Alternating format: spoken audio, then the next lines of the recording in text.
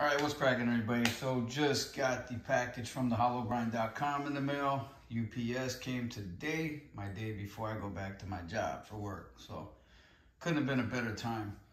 Anyway, so we're gonna go ahead and just jump right into this video because I got a comparison to, to put next to this knife that you're gonna see here. This is Heretic Knives. It's the box. Uh, what they give you in the box is obviously your knife they give you a little bit of OTF automatic knife oil. Just a shot of it to see if you like it, I guess. And your microfiber cloth, okay? So nothing special. Same old deal, just like most of the manufacturers out there. And the knife that it is, the Cleric 2. This one is the Battle Worn, I believe. Yep, Battle Worn Double Edge Cleric 2 right there. Okay, I really like the one, I can't remember what company had it, but this was actually polished out. So this is like a metal insert. Just like when they used to put the carbon fiber and stuff like that on them. So this one just made of metal. You can you can tape off the handle at some point if you don't like how this looks. Because I really don't like how it looks, but we'll let it go for a while. What I'm planning on doing is just sanding it. Get at least the tips nice and highly polished and you know, maybe it'll accent it make it look a little bit better. But it's almost like a diamond plate you see in uh, factories and stuff like that. It's a nice touch, believe me. I just don't like the color of it. I thought it was the, the high shine until I actually got it in my hand, but whatever. It doesn't take much to make that, make that look. So I like the trigger mechanism right off the back just because it's on the top and it's on the top side. It's not like right in the middle where most other knife companies are you know, Benchmade, Gavin Hawk, stuff like that, Perron Excalibur. So I'm glad that they made it a little bit different. I'm also glad to see that there's some ergonomic places for your fingers that are actually done to this handle because the other one I have here that is not a real Microtech, but it's a knockoff of the original Makora 2. The original Microtech Makora 2 was about the, actually it was the same size as this, blade and all. So I do have a copy of that because it's been long owned of the real one. And I, I seen a knockoff come up and my wife was like, oh, I'm going to buy that for him for Christmas. And she thought she got me a real one. didn't realize it was a knockoff. I didn't tell her. I was like, oh, what it, man, 75 bucks, 75 bucks. At least it looks like the real one, you know, for now. But that's the Heretic Cleric 2. Here is the knockoff piece of crap I'm talking about. So this does bring back memories for some of you guys out there. From a company called Tack Knives. You know, they're about 75 bucks or so. So as you can see, I just wanted to put this out here for size comparison because they're they're the exact same size as far as length goes all the way down to the end of the handle. Obviously your glass breaker's a little longer on this one because this glass breaker is just straight into the aluminum. I really prefer this way better. I like it. I like how the pocket clip sits up. It's got the ball bearing in the pocket clip so it'll slide out of your pocket. Does have really good grip in the pocket so it's not just gonna fall out.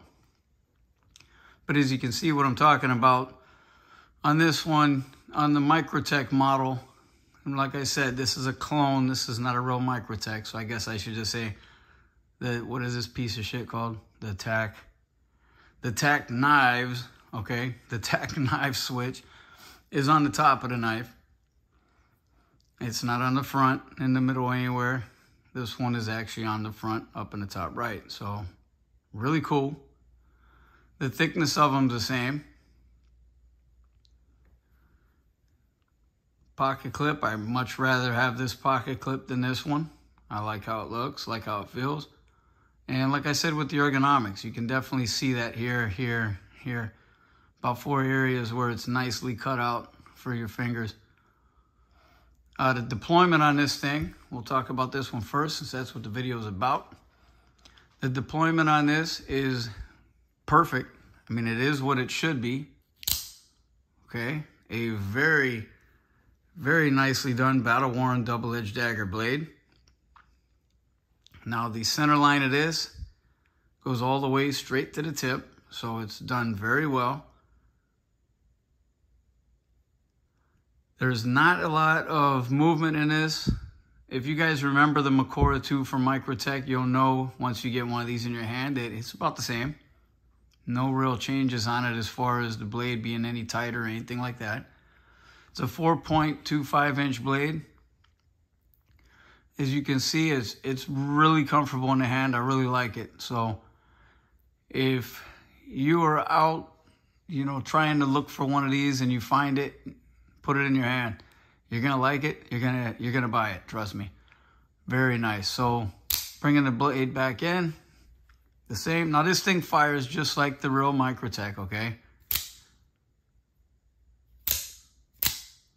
Difference being on most of the Makora models, the real ones, they had holes drilled into the blade. They had some holes drilled into the blade down here just to kind of represent ant eyes, you know what I mean? So, um, obviously this blade's a piece of shit, claimed to be D2, but I highly doubt that.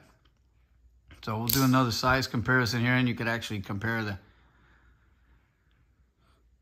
full length. As you can see, they're identical.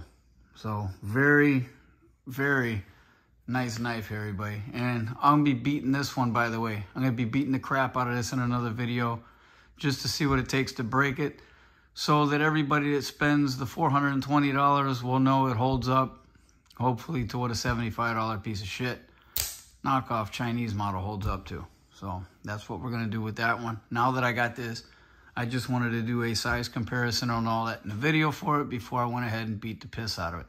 So I will be making that video coming up shortly.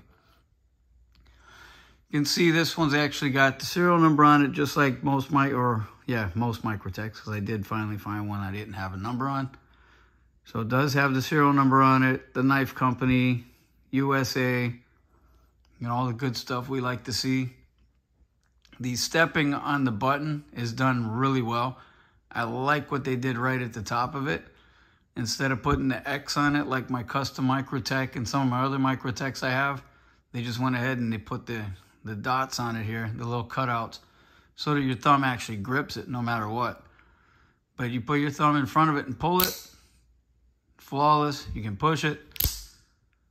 Okay, and you can also put it right on the top and do the same thing. So, very, very nicely done knife. This is a good carry knife. You know, I mean, it just depends on what state you're in. Be very careful with that because not only is this a big blade, but it is a double-edged blade and it's an automatic.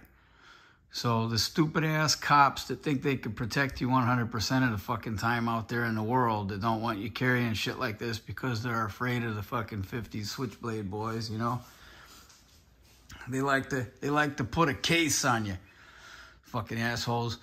But anyway, man, most cops are not dicks, but you're going to come across one that's going to fuck you right up over this stupid shit right here.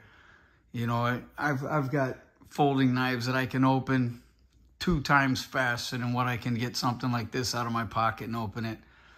And I mean, the legality bullshit behind all this stuff is absolutely fucking stupid anymore. It's all about getting somebody a damn felony or some kind of charge to keep you from buying a fucking gun. You know, since they can't just ban guns because of your rights, they'll take your fucking rights away just for saying, I'm going to carry my switchblade today. Knowing that if I'm ever going to stab me a motherfucker out of just wanting to do it, I'm going to use the biggest kitchen knife I can find, like Michael Myers, instead of a $420 freaking badass looking knife. You know, most people that carry, you never hear about anybody getting shanked with one of these fucking things walking down the street. That's for sure. Hopefully somebody don't do it now that I said it, but but you you don't hear about that shit. You hear about some crazy bastard that found a a steak knife in the trash out behind Sizzler getting fucking stuck, you know? You never hear about anybody doing that shit with these. Us people that carry 400 to $1,000 knives, we're not going to waste the blade on that kind of shit you know, unless we really, really, really, really have to. All right, it's got to be that situation that that allows it, legally allows it, right? Even though the knife size isn't going to be legal, period. But getting your ass beat down to the fucking ground in a pulp and uh, losing consciousness, in and out of consciousness, I don't give a fuck what the goddamn law says about what I can carry at that point. Some bitch is getting stuck. All right, that's that's basically what I got to say about that. So back to the Heretic on with my rambling shit. Very, very nice knife. It's got the Torx driver screws in it. So you can definitely take it apart, clean it up. You know, you, you rarely have to do anything like that. If you're one of them people that carries it down into the lake with you or, you know, the ocean, you might get some seaweed in it. You might get some sand in it. You know, yeah, okay. Shit like that, you're going to want to take it apart and clean it up. But most people that buy these knives will carry it on the street. They'll carry it to the park, you know, shit like that. So you, you really, it's not necessary to take these apart very often and clean them unless you're one of those people that takes it in the environments I said. So very, very nice knife, everybody. I really rec I highly recommend this actually. And I can't wait to see a lot more of the customs that are going to come out because this is a knife that you need a good custom. I've seen some of them already, but I haven't seen any mirror finish blades on them yet. I haven't seen a, you know, there's they have like a, a ray skin or some kind of skin, snake skin and stuff like that that are inlaid in the handles, lizard skin inlaid in the handles, things like that. But a little bit of abalone, I hate that shit. Fucking shittiest shit you could put in a knife right there. Fucking rainbow pride. But customs will come out on these, and I can't wait. It feels really good in the hand. It's the perfect size, so. HollowGrind.com's got them right now. I know because I just bought mine. I think he's got three left over there, so good luck on your findings, everybody. Peace out.